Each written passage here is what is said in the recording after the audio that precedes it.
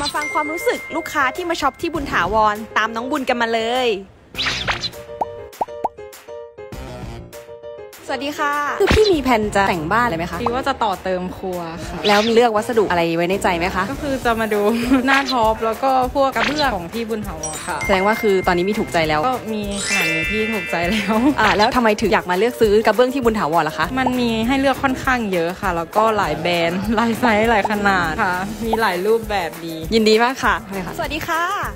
ขอนั่งด้วยนะคะ วันนี้พี่มาออกแบบห้องไหนล่ะคะ ห้องครัวค่ะ แอบกระซิบถามว่ามีไอเดียในใจไหมคะ ก็ยังไม่มีค่ะ มาออกแบบก็คือมาแบงค์แบงค์เอาครัวเดิมมาให้ดู แล้วก็ให้น้องเขาลองทำให้ว่ามันจะออกมาเป็นแบบไหนได้บ้างอะไรอย่างเงี้ยค่ะ แล้วผลลัพธ์เป็นไงบ้างคะ ประทับใจไหมก็ออกมาดูดีค่ะ ก็ลงตัวฟังก์ชันมันก็ครบขึ้นกว่าที่เรามีอยู่ค่ะ ก็รู้สึกแฮปปี้แล้วโดยรวมอ่ารู้สึกประทับใจอะไรกับ 3D Design หรือว่าอยากมีเพิ่มอะไรไหมคะ ก็น้องเขาก็น่ารักน้องบริการดีน้องเซลล์แถวๆเนี้ยก็ช่วยเลือกเขาเรียกอุปกรณ์เลือกซิงค์เลือกเตาอะไรอย่างเงี้ยค่ะ ตอบโจทย์ความต้องการใช่ไหมคะ แก้อะไรอย่างเงี้ยเออแก้ไปเรื่อยๆจนแบบพี่จะโอเคอะไรอย่างเงี้ยเอออะแล้วน้องตัวน้อยชอบแบบที่คุณแม่ออกแบบไหมคะ ชอบมากเลยครับ ชอบสีอะไรคะ ห้องครัว ขาว ดูสะอาด เคยเข้าไปบ้างไหมเคย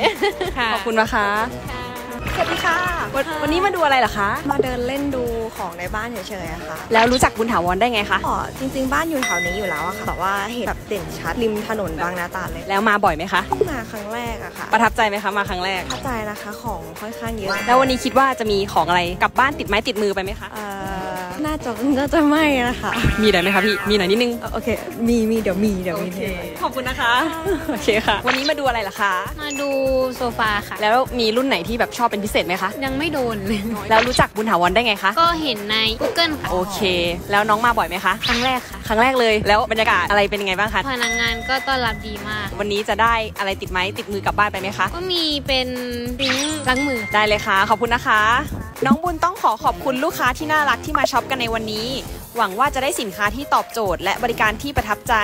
ครั้งหน้าจะพบกับน้องบุญที่ไหน รอติดตามกันได้เลย